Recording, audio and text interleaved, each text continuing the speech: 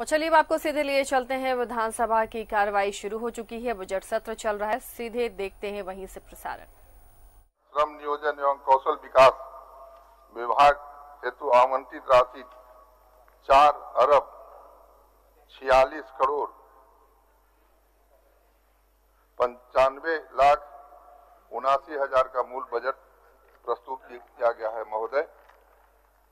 मैं यह बताना चाहता हूँ कि माननीय मंत्री जी ने बड़े मेहनत से तैयार किया है। मैं इनसे सुझाव कुछ देना चाहता हूँ कि आखिर गत वर्ष जो इन्होंने बजट दिया था, उसमें क्या इन्होंने किया? आज बहुत ही महत्वपूर्ण विभागों का अनुदान की मांग पर चर्चा निर्धारित है महोदय। श्रम नियोजन एवं प्रशिक्षण विभाग, उद्योग विभाग, ऊर्जा विभाग, वाणिज्य कर एवं खनन चर्चा होनी है। राज्य में रोज़गार के अवसर, बेरोजगारी की समस्या, राजस्व प्राप्ति और आधारभूत संरचना के लिए आवश्यक ऊर्जा विभाग सभी अपने आप में एक एक दिन चर्चा में लगते परंतु मैं सभी विभाग पर कुछ सुझाव देना चाहता हूँ। सबसे पहले तो मैं कहना चाहता हूँ कि श्रमिक, लेबर पर इन्होंने जो बजट लाया है कहना चाहते हूँ, अगर यह जो देख रहे हैं बिल्डिंग ये श्रमिक का दिन है। और इतना बढ़िया बिल्डिंग जो बनाए श्रमिक लोग, उनको मैं धन्यवाद देना चाहता हूँ कि आज हम लोग विधानसभा में, नए विधानसभा में बैठे हुए हैं, वह श्रमिकों का दिन है। इसलिए वह धन्यवाद के पात्र है। महोदय, यह सुंदर भवन, हम समझते हैं कि शायद हिंदुस्तान यह इस तरह का भवन बहुत कम होगा, इसलिए वो धन्यवाद के पात्र महोदय, एक कल्याणकारी राज्य में मजदूरों को उसके मालिक की दया पर, उसकी कृपा पर नहीं छोड़ना चाहिए। महोदय, सरकार अपनी नीतियों और नियम से श्रमिकों के और परिजनों की रक्षा करे, यह सरकार का पहला कर्तव्य है महोदय। हम लोग अभी एक साल में जिस अनुभव से गुजरे वह यही दिखता है कि हमें मजदूरों को मालिक के भरोसे नहीं छोड़ना चाहिए, हमारी नीति ऐसी होनी चाहिए कि हम सम्मान पूर्वक जीवन यापन उपाय सुनिश्चित कर सके। महोदय, हमारे श्रमिक मजदूर अपने परिवार से दूर बड़े बड़े शहरों में काम कर रहे हैं, महोदय। कमाने गए हैं, परंतु उसका सुरक्षा, सम्मान करना सरकार का धर्म है, महोदय। और उनको उस तरह सम्मान मिलना चाहिए जिस तरह से सैनिक और किसान को हम देते हैं। इस तरह से सैनिक हमारे श्रमिकों को मिलना चाहिए। हमारे श्रमिक भी सामाजिक विकास के रीढ़ है महोदय। यह किसी भी सरकार के लिए संभव नहीं होता कि सभी के लिए सरकारी नौकरी करा जितने लोग बी बीए, एमए, बीटेक जितने भी टेक्निकल पढ़ाई पढ़ चुके हैं परंतु सभी को नौकरी देना संभव नहीं है महोदय। दो ही उपाय है। एक तो है कि स्वरोजगार करे, दूसरा सरकार जो है से छोटे छोटे उद्योग लगा के उन्हें नौकरी देने का काम करे। परंतु मैं सरकार से पूछना चाहता हूँ, एक साल के दरमियान इन्होंने कोई काम नहीं किया। यह हवाई किला के तरह रह गया बड़े बड़े इनके सपने रह गए। यही कारण है कि हमारे लेबर लोग जो कोरोना काल में, कोरोना काल में जो बाहर से हम लाए लेबर को, और उनको हमने कहा था कि पुनर्वासित करेंगे, नौकरी देंगे बाल बच्चे के पढ़ाने का काम करेंगे, परंतु सरकार की क्या नीति थी? नहीं काम मिला, भूख मरने लगे, उन लोग पुनः जहाँ से आए थे चले गए। यह सरकार का जो है, साल भर का दिन है महोदय, यही हम बताना चाहते हैं। इसलिए हमें रोज़गार के अवसर पैदा करने के लिए बराबर प्रयास करना चाहिए।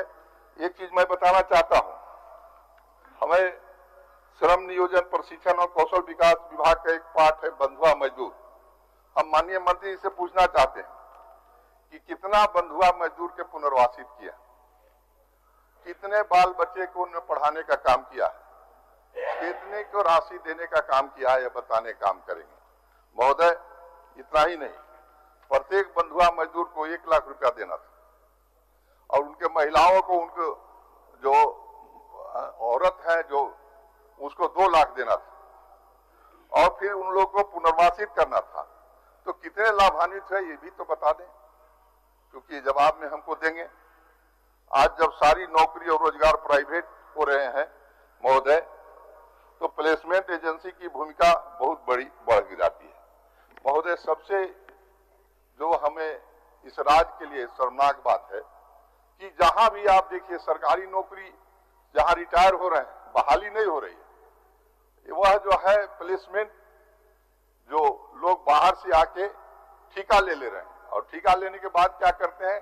कि श्रमिकों का शोषण कर रहे हैं। चाहे पढ़े लिखे लोग हो, चाहे टेक्निकल हो, सभी की बहाली उनके हाथ में है। आखिर सरकार क्या कर रही है, मैं ये पूछना चाहता हूँ। होता क्या है कि वो लेता है सरकार से अगर दस हज़ार रुपया लिया, एक लेबर पर बीस हज़ार रुपया लिया तो वह दस हज़ार देता है। इतने तक नहीं करता है। वह उसका न पीएफ कटता है, और वो अपना मनमानी जो है जिस अगर वह बिहार का रहने वाला है, यूपी का रहने वाला है, वहाँ से लेबर लाता है और हमारे लेबर यहाँ जो है दूसरे जगह जा रहे हैं, हमारे कम से कम यह सरकार को कहना चाहिए कि झारखंड को जो श्रमिकों को यह सुविधा मिलनी चाहिए और सरकार को यह देखना चाहिए कि कम से कम यहाँ के लेबर को पुनर्वासित करे इतने नहीं। आप चले जाइए ब्लॉक लेवल पर। पहले ये सब नहीं होता था। हम लोग पुराने सदस्य हैं यह दो चार साल से यह पनप रहा है। हमारा कहना ये है कि जब ब्लॉक लेवल में जाइए, कोई टाइपिस्ट खोजिएगा तो क्या है? वह जो है एनजीओ के थ्रू है। जिला में जाइए तो एनजीओ के थ्रू है। और इससे क्या होता है कि पैरवी पर वह नौकरी होता है, गुणवत्ता नहीं हो पा रहा है और सारा जो है काम काज ध्वस्त हो रहा है। टाइप करना है, कुछ कर देता है कुछ। काम करना है, कुछ कर देता है, कुछ। तो ये कम से कम हमारा यही आग्रह है सरकार से, इस पर बैंड लगना चाहिए। और इस पर नहीं अगर बैंड लगा तो जो है, फ्यूचर में जो है, जो फिर वह जो देख रहे हैं, इसकी स्थिति बहुत खराब हो जाएगी, महोदय। इतने ही, विधानसभा में भी आपको मैं बताना चाहता हूँ। यहाँ जहाँ हम लोग बैठे हुए वहाँ भी देख रहे हैं। यहाँ भी प्लेसमेंट के थ्रू बहुत सा सफ़ाई, साफ़ सफ़ाई चल रहा है। उसको महोदय, मैं आपसे आग्रह करना चाहता हूँ, गरीब आदमी है। वो कम से कम आप जो है, उसको दिखवाइए कि कितना हम देते हैं, कितना उसको मिलता है। और इसको पीएफ कटता है कि नहीं कटता है। और एक कॉपी आपको मिलना चाहिए विधानसभा के कार्यालय में कि हमारा जो है, यह श्रमिक सुरक्षित है कि नहीं। कि सही पैसा मिल रहा है, यही हमारा आग्रह है महोदय। और माननीय मंत्री जी से जानना चाहते हैं कि आपने 2020 इक्कीस में बधुआ मजदूरों का पुनर्वास योजना बनाया था। झारखंड असंगठित कर्मकार सामाजिक सुरक्षा योजना बनाया था। संगठित कर्मकार बीमा योजना, अंत्येष्टि सहायता योजना, असंगठित कर्मकारों को बच्चों के लिए मुख्य मंत्री छात्रवृत्ति योजना, कौशल उन्नयन योजना, चिकित्सा सहायता योजना, रांची में राज्य श्रम संस्थान की स्थापना, मुख्यमंत्री राष्ट्रीय प्रवासी श्रमिक अनुदान योजना, कर्मचारी राज्य योजना। इन सभी योजनाओं को मैं इनसे पूछना चाहता हूँ, किताब में देखने से। इनका कोई प्रोग्रेस नहीं लगता। यह लगता है कि इन्होंने इस पर कोई ध्यान नहीं दिया। कम से कम जब आप इस किताब को बजट में जब पास कराते हैं राशि, उसका साल भर में खर्च होना चाहिए, उसका विकास होना चाहिए, यह राज्य का विकास है। तो यह जो है, खाली हवाई किला बना के छोड़ दिए गए हैं। इसको इस पर ध्यान देना चाहिए अगर इस वर्ष अगर पैसा ले रहे हैं इतना अरब पहले से ले रहे हैं बेसी तो इस इस पर भी ध्यान देना चाहिए विकास की ओर। और, दूसरा चीज़ है ऊर्जा उद्योग खान एवं भूतक खान उद्योग एवं की संभावना कोई नई बात नहीं है। उसी तरह यहाँ मजदूर भी आसानी से मिल जाते हैं ज़रूरत है बिजली सड़क और सुरक्षा देने की। यहाँ खान और खनिज का बहुलता है महोदय। लेकिन हम उसका उपयोग न तो राजस्व प्राप्ति में कर रहे और न हो, ही उसे स्थानीय लोगों की नौकरी दे सकते हैं। उद्योग के लिए पहली शर्त स्थानीय लोगों को नौकरी होना चाहिए। महोदय, यही मेरा आग्रह है कि उद्योग में जो है स्थानीय लोग की नौकरी मिले। सरकार इस दिशा में कुछ कर रही है।